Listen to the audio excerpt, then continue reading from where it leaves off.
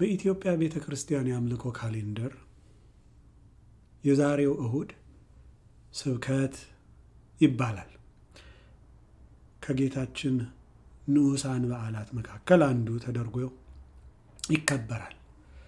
በዚህ ዕለት ሌሊት የሚዘመረው መዝሙር ወልዶ መድህነ ንሰብክ ዘእም ቅድመ ዓለም ሃሎ አክሊለ ሰማዕት ሰያሜ ካህናት ወተስፋ መነኮሳት የሚል ነው። ትርጉሙም ከዓለም መፈጠር በፊት ጀምሮ የነበረውን የሰማዕታት አክሊል የካህናት ሿሚ የመነኮሳትም ተስፋ የሆነውን መድኃኒት ልጁን እንሰብካለን ማለት ነው። ይህ መዝሙር በዛሬ ቅዳሴ ላይ ያነበብናቸው ምንባቦች የሚያነሱትን ዋና ነጥብ አጉልቶ ያሳየናል። ለምሳሌ ምስባኩ የዛሬው ምስባክ ፈኑ እዴከ እምአርያም አድህነኒ ወባልሐኒ እማይ ብዙህ የሚል ነበረ። እጅህን ከአርያም ላክና ከብዙ ውሆች አድነኝ ታደገኝ የሚል ነው። የዕብራውያን መልእክት ንባባችንም በነቢያትና በብዙ መንገዶች ለአባቶቻችን ሲናገር የኖረው እግዚአብሔር አሁን በዚህ በመጨረሻ ዘመን በአንድ ልጁ ተናገረን ብሎ ዕብራውያን አንድ ቁጥር አንድ ይህን ይነግረናል። የቅዱስ ጴጥሮስ መልእክትም ይህ በመጨረሻው ዘመን የአባቱ መልእክት ሆኖ የመጣው አንድ ልጁ የእግዚአብሔር ልጁ ኢየሱስ ክርስቶስ ዳግመኛ እንደሚመጣ በእርግጠኝነት ይነግረናል። ይህም የመጀመሪያውን መምጣት ከሁለተኛ መምጣቱ ጋር አያይዘን እንድናስብ የሚጋብዝ ነው። ከዮሐንስ ወንጌል የተወሰደው ምንባብም ዮሐንስ ወንጌል ምዕራፍ 1 ቁጥር 44 እስከ ፍጻሜ ያለው ነበር። ይህ ምንባብም ፊልጶስንና ናትናኤልን ያሳየናል። ተከተለኝ የሚለውን የጌታ ኢየሱስን ድምፅ ሰምቶ የተከተለው የቤተ ሳይዳው ፊልጶስ የከተማውን ልጅ የሰፈሩን ልጅ ናትናኤልን እንዲህ ብሎ ሲጠራው እንመለከታለን። ሙሴ በሕግ ነቢያትም ስለ እርሱ የጻፉትን የዮሴፍን ልጅ የናዝሬቱን ኢየሱስን አግኝተነዋል ይለዋል። ይህን ጥሪ ሲሰማ ናትናኤል መልሱ ከናዝሬት መልካም ነገር ሊወጣ ይችላልን የሚል ነበር። ነገር ግን ፊልጶስ መተህ ብሎ ሲጠራው ወደ ጌታ ኢየሱስ ይመጣና ጌታችንን ያገኘዋል። በዚህ ጊዜ ጌታችን ከበለስ በታች ሳለ እንደሚያውቀው ሲነግረው መምህር ሆይ አንተ የእግዚአብሔር ልጅ ነህ፣ አንተ የእግዚአብሔር ንጉሥ ነህ ብሎ እጅ ሲሰጥ እናየዋለን። ከናዝሬት መልካም ነገር ሊወጣ ይችላል ያለው ሰው ለናዝሬቱ ኢየሱስ ክርስቶስ እጅ ሰጥቶ አንተ የእስራኤል ንጉሥ ነህ፣ አንተ የእግዚአብሔር ልጅ ነህ አለው። ከሐዋርያት ሥራ በወሰድነው ምንባብ ደግሞ ሐዋርያው ቅዱስ ጴጥሮስ አንድ ለብዙ ዘመናት ሽባ ሆኖ የኖረን ሰው ከፈወሰ በኋላ በዙሪያው የተሰበሰቡትን አይሁድ እንዲህ ብሎ ሲነግራቸው እንሰማለን። እንግዲህ ይላቸዋል ከጌታ ፊት የመጽናናት ዘመን እንድትመጣላችሁ አስቀድሞም ለእናንተ የመረጠውን ኢየሱስ ክርስቶስን እንዲልክላችሁ ንስሐ ግቡ ይላቸዋል። ንስሐ ግቡ አጠር አድርጌን የጠቀስኩት ሙሉ ጥቅሱን ታገኙታላችሁ በሐዋርያት ሥራ ምዕራፍ 3 ከቁጥር 17 እስከ ፍጻሜ ያለውን ብታነቡ እዚያ ላይ ይገኛል። ይህ የቅዱስ ጴጥሮስ ንግግር አስተውሎ ለሰማው ሰው እንግዳ ንግግር ነው። እንዴ ጌታ ኢየሱስ ክርስቶስ ከእመቤታችን ከቅድስት ድንግል ማርያም ተወልዶ በሥጋ መጥቶ ተሰቅሎ ሞቶ ተነስቶ አርጎ ጸጋ መንፈስ ቅዱስን ለሐዋርያት ከሰጠ በኋላ ነው ይህ ተአምር የተደረገ። እንዴት ሆኖ ነው ታዲያ ቅዱስ ጴጥሮስ አስቀድሞ ለእናንተ እግዚአብሔር የመረጠውን ኢየሱስ ክርስቶስን እንዲልክላችሁ ብሎ ለአይሁድ የሚነግራቸው? ጌታ ኢየሱስ ክርስቶስ ተልኮ መጥቶ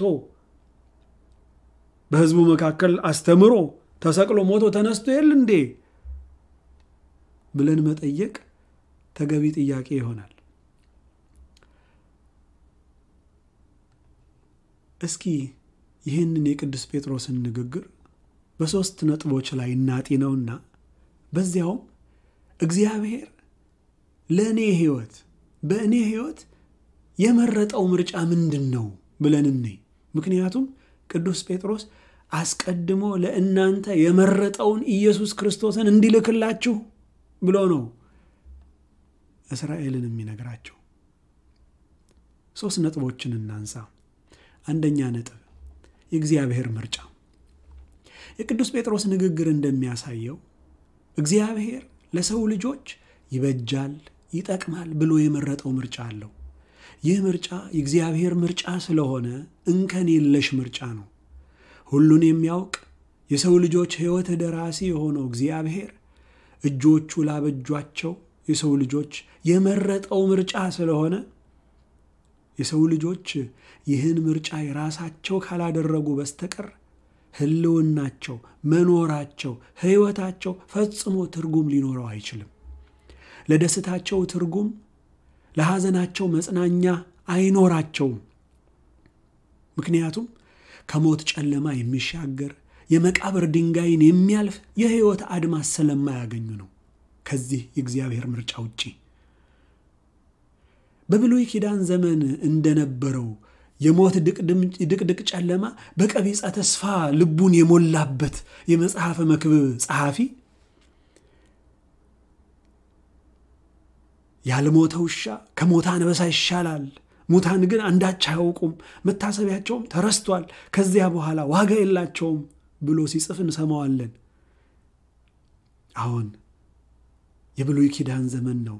ገና በትንሣኤ ጌታ ለቅዱሳኑ ያዘጋጀው ለሕዝቡ ያዘጋጀው ሕይወት ብዙ ያልተገለጠላቸው ሰዎች የነበሩበት ዘመን ነው። ይህ የመጽሐፈ መክብብ ጸሐፊም ከጽሑፉ እንደሚያሳየን ይህንን አስፈሪ የሞት ድቅድቅ ጨለማ ተጋፍጦት አዝኖበታል። ስለዚህም ከማዘኑ የተነሳ ነው ያልሞተ ውሻ ከሞተ አንበሳ ይሻላል፣ ሙታን ግን አንዳች አያውቁም፣ መታሰቢያቸው ተረስቷል፣ ከዚያ በኋላ ዋጋ የላቸውም ብሎ ሲጽፍ የምንሰማው መጽሐፈ መክብብ ምዕራፍ 9 ቁጥር አራት ላይ አሁን ትንሣኤን ያላየ ከሞት ባሻገር የሚታይ የሕይወት አድማስ አይኖረውም። የእግዚአብሔርን ምርጫ ያልሰማ የእግዚአብሔር ለሰው ልጆች የሰጠውን የመረጠውን ምርጫ ያላየ ያላገኘ ያልዳሰሰ አሁን ከሞት ባሻገር የሚታይ የሕይወት አድማስ አይኖረውም። ሕልውናው በድብርት ይሞላል። ከዚህ ድብርት ለማምለጥ ነገ እንሞታለንና እንብላና እንጠጣ የሚል አስተሳሰብ የኑሮ ፍልስፍና ይሆናል። ከሞት አድማስ ባሻገር ማየት የማይችል እርካታና ምቾት የሚያመልክ ጨለምተኝነት እና ጊዜያዊ ደስታ አሳዳጅነት ሕይወቱን የሞሉበት ሰው ይፈጠራል። የእግዚአብሔር ምርጫ በሕይወታችን ውስጥ ሳይኖር ሲቀር መጽሐፈ ጥበብ ምዕራፍ አንድ ቁጥር ዘጠኝ እንደሚነግረን ግን እግዚአብሔር ሞትን አልፈጠረም፣ ፍጥረትንም የፈጠረው ነዋሪ ይሆን ዘንድ ነው፣ የሰዎች ጥፋትም ደስ አያሰኘውም። ስለዚህ ለሰው ልጆች ከዘላለም ያለው የእግዚአብሔር ሐሳቡና ምርጫው የሰው ልጆች የእርሱን ሕይወት ወርሰው ሕያዋን ሆነው ይኖሩ ዘንድ ነው። ይህንን ሐሳቡንም በዘመናት ውስጥ በብዙ ምሳሌ በብዙ ጎዳና ለአባቶቻችን ነቢያት ተናገረ። ዕብራውያን ምዕራፍ አንድ ቁጥር አንድ እንደሚነግረን ዘመኑ ሲፈጸም ይህ እግዚአብሔር ለእኛ የሰው ልጆች የመረጠው ምርጫ ሰው ሆኖ ተገለጠ። ሰው ሆኖ ተገለጠ። ሰው ሆኖ ስለተገለጠም ይህ የእግዚአብሔር ምርጫ አሁን አሁን የሚታወቅ ስም አለው የሚታወቅ ስም አለው። ይህም ሁለተኛው ነጥቤ ነው። የእግዚአብሔር ምርጫ ስም ቅዱስ ዮሐንስ ወንጌላዊ በመልእክቱ በአንደኛው ዮሐንስ ምዕራፍ አንድ ቁጥር ሁለት ላይ እንደሚነግረን ሕይወት ተገለጠ፣ እኛም አይተናል እንመሰክርማለ ይላል። እግዚአብሔር አስቀድሞ ለሰው ልጆች ያሰበውን ይህን ዘለዓለማዊ ሐሳቡን ከእርሱ ጋር በሥጋ በደም እንድንዛመድ ወደዚህ ዓለም ሰው የሆን ዘንድ ልኮታል። ስለዚህም እግዚአብሔር በፍቅሩ ለሰው ልጆች የመረጠው ዘለዓለማዊ ምርጫው ስም አለው። ስሙም በዕብራይስጥ የሹዋ ይባላል፣ በግሪክ ኢየሱስ፣ በጥንታዊ ግዕዝ ኢየሱስ፣ በመካከለኛው ዘመን ደግሞ ኢየሱስ ይባላል። ይህ ሁሉ ስሙ ነው። ትርጉሙም እግዚአብሔር አዳኝ ነው፣ እግዚአብሔር መድኃኒት ነው ማለት ነው። እግዚአብሔር ለሰው ልጅ የመረጠው ሌላ ምርጫ ስለሌለው የሰውን ልጅ ለማዳን ተልእኮ ያላት ቤተ ክርስቲያን ይህንን ስም ትሰብካለች። ከእርሱ ከኢየሱስ ክርስቶስ በስተቀር ሌላ አዳኝ፣ ሌላ መድኃኒት፣ ሌላ ተስፋ፣ ሌላ መፍትሔ የለም። ስለዚህም መታመማቸውን ለሚያምኑ መድኃኒት እንደሚያስፈልጋቸው ለሚያውቁ ከሞት ጥላ ለማምለጥ ለሚፈልጉ ሰዎች ሁሉ ድምጿን ከፍ አድርጋ ቅድስት ቤተ ክርስቲያን እንደ ቅዱስ ፊልጶስ ሙሴ በሕግ ነቢያትም ስለ እርሱ የጻፉለትን የእግዚአብሔርን ልጅ የናዝሬቱን ኢየሱስን አግኝተነዋል ትላለች። የሞት መፍትሔን ከሰው ዕውቀት የሚጠብቁ ፈላስፎች የሰውን ልጅ የችግሮቹን መፍትሔ ከሰው ሰራሽ መፍትሔዎች የሚጠብቁ የሐሳብ ሊቃውንት ቤተ ክርስቲያን ስለ ኢየሱስ ክርስቶስ ስትመሰክር ስትናገር መፍትሔው እሱ ነው ስትል ይጠይቋታል። እንደ አንቺ ካለችው አቅመቢስ ታሪክሽ በውድቀት ጉባኤሽ በኃጢአተኞች ከተሞላ ማህበር እውነት ለሰው ልጅ መፍትሔ ይገኛልን ብለው ይጠይቋታል። እርሷም በእርሷ ምክንያት የሙሽራዋ ስም ስለተሰደበ የንስሐ እንባዋን ታፈሳለች።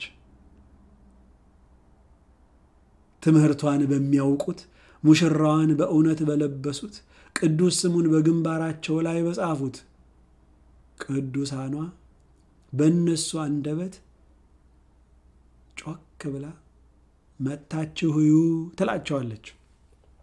ከአንቺ ምን በጎ ነገር ይገኛል ለሚሏት ሁሉ አሁን እንደ ፊልጶስ መጥታችሁ እዩ።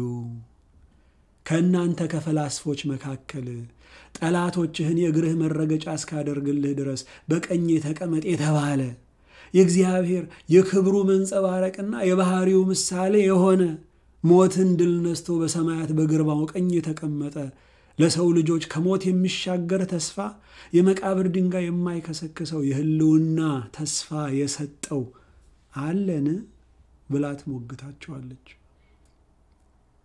ሙግቷም ይህ የእግዚአብሔር ምርጫ የሆነው ኢየሱስ ክርስቶስ አዎን የሰው ልጅ መፍትሔ ሆኖ እንደመጣ የሰው ልጅ መፍትሔ ሆኖ እንደሚኖር የሰው ልጅ መፍትሔም ሆኖ ዳግመኛ እንደሚመጣ ስለምታውቅ ነው። ወደ ሦስተኛው ነጥቤ ልሄድ። መምጣቱ በዓለም አቀፋዊው ኦርቶዶክሳዊ የቤተ ክርስቲያን ሐዋርያዊ ትውፊት ከገና በፊት ከጌታችን የልደት በዓል በፊት ያለው ጊዜ የነቢያት ተስፋ የጌታም መምጣቱ የሚታሰብበት ጊዜ ነው። በእንግሊዝኛ አድቨንት በመባል ይታወቃል። ጌታ ሶስት መምጣቶች አሉት። አንደኛው ከእመቤታችን በሥጋ የመጣበት ነው። ሰው የሆነበት ነው። የሥጋ ዘመዳችን የሆነበት። ሁለተኛው ዳግመኛ ለፍርድ የሚመጣበት መምጣቱ ነው። ሦስተኛው ደግሞ እያንዳንዱ ሰው ንስሐ ሲገባ እና ከኢየሱስ ክርስቶስ ጋር ለመኖር ሲወስን ጌታ በምስጢራተ ቤተ ክርስቲያን ከሁሉም በላይ ደግሞ በምስጢረ ቁርባን ወደዚያ ሰው የሚመጣበት መምጣቱ ነው። ሦስተኛው መምጣት ይሄ ነው። ቅዱስ ጴጥሮስ በስብከቱ አይሁድን እግዚአብሔር ለእናንተ አስቀድሞ የወሰነውን ኢየሱስ ክርስቶስን እንዲልክላችሁ ንስሐ ግቡ የሚላቸው ለዚህ ነው። ንስሐ ካልገቡ እኛ ዘወትር ትክክል ነን የሚለውን ሐሳባቸውን ካልቀየሩ ይልቁንም እንደ መዝሙረኛው በመዝሙረ ዳዊት 113 ቁጥር 11 ላይ እንዳለ እንደተጻፈልን አምላካችን በላይ በሰማይ ነው የፈቀደውንም ያደርጋል ማለት ካልቻሉ የመጀመሪያ መምጣቱ በእነርሱ ዘንድ ትርጉም አይኖረውም። እግዚአብሔር ለሰው ልጆች ከዘላዓለም የመረጠውንና ወደዚህ ዓለም የላከውን የተገለጠውን ሐዋርያት የዳሰሱትን ሕይወት ኢየሱስ ክርስቶስን አይቀበሉትም። የዮሴፍ ልጅ ይሉታልና ንስሐ ካልገቡ የመጀመሪያው መምጣቱን ማየት አይችሉም። የዮሴፍ ልጅነቱን እንጂ የእግዚአብሔር ልጅነቱን ማየት አይቻላቸውም።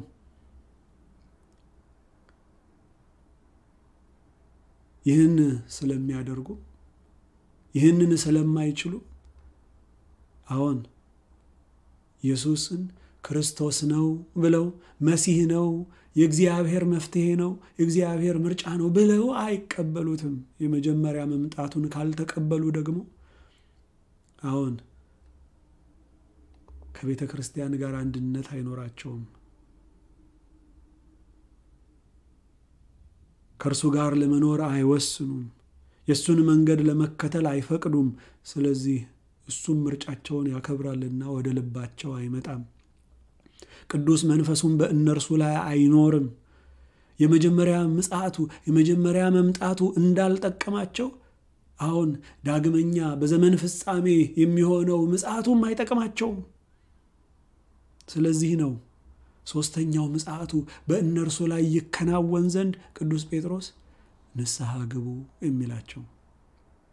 የእግዚአብሔርን ምርጫ ተከተሉ፣ እግዚአብሔር ለእናንተ ያለው ምርጫ ይሄ ነው እያላቸው ነው። እሱን ግን እንድታዩ ይህ የእግዚአብሔር ምርጫ ወደ እናንተ እንዲመጣ ንስሐ ግቡ፣ አስተሳሰባችሁን ቀይሩ። ሜታኖያ ይባላል ንስሐ በግሪክ ሐሳብ መቀየር ማለት ነው። ቤተ ክርስቲያን በየዓመቱ ይህንን ጊዜ ይህንን ከገና በፊት ያለውን ጊዜ የጌታን መምጣቱን እንድናስብበት የምታደርገን ለዚህ ነው። ይህንን እግዚአብሔር ለእያንዳንዳችን ከዘላዓለም የመረጠልን ኢየሱስ ክርስቶስን ዳግመኛ ወደ ልባችን እንዲመጣ ያኔ በልደቱ ወደ ቤተልሔም እንደመጣ ወደ እኛ ወደ ድሆቹ ምግባር ወደ ጎደለን መንፈሳዊነት ወደ አጠጠን ወደ እኛ እንዲመጣልን በልባችን እንዲወለድ ልባችንን ዳግመኛ እንድናጸዳ ነው። ያኔ በቤተልሔም እንደተወለደ አሁን ደግሞ ልባችን ይወለድ ዘንድ እንድንዘጋጅ ነው። በሥጋ ወደ ዓለም የገባው በቅዱስ ሥጋውና በክቡር ደግሞ አብሮን የሚኖረው የእግዚአብሔር ልጅ ይበልጥ ወደ ሕይወታችን እንዲገባ ይበልጥ በሕይወታችን እንዲገለጥ እርሱን የምንጋብዝበት የእሱን መምጣት ወደ ሕይወታችን መግባት የበለጠ በሕይወታችን መገለጥ የምንጠብቅበት ጊዜ ነው። ለእርሱነቱ ያልተገዙ ንጉሥነቱን ያልተቀበሉ ጨለማ ያዋጣቸው ከበለስ በታች የሆኑ እንደ ናትናኤል ከበለስ በታች የሆኑ የኑሯችንን ጥጋ ጥጎች አዎን እየፈለግን የእርሱ ብርሃን እንዲገባባቸው የምንከፍትበት ራሳችንን ለእርሱ የምናሳይበት ጊዜ ነው። ምስጋና የማይሰማባቸው የምሬቶቻችንን ጥጋጥጎች እርሱ በጸጋው መጥቶባቸው ከመላእክቱ ጋር ስብሃት ለእግዚአብሔር በሰማያት ወሰላም በምድር ስምረቱ ለሰብ በሰማያት ለእግዚአብሔር ምስጋና ይሁን የምንል የምስጋና መቅደሶች ለመሆን የምንዘጋጅበት ጊዜ ነው ይህ ጊዜ። ምክንያቱም ይህ በልደት በዓል ላይ የምናከብረው የምንቀበለው ኢየሱስ ክርስቶስ እግዚአብሔር ለእኛ ለእያንዳንዳችን የመረጠልን የእግዚአብሔር አብ ዘለዓለማዊ የፍቅር ምርጫ ነውና በእርሱ ለእርሱ ከእርሱ ጋር እንድንኖር መድኃኒት ልጁን የሰጠን እግዚአብሔር አብ በጌታችን በኢየሱስ ክርስቶስ በመንፈስ ቅዱስ ኃይል ከቤተ ክርስቲያን ክብር ምስጋና ይሁንለት። አሜን። Thank you.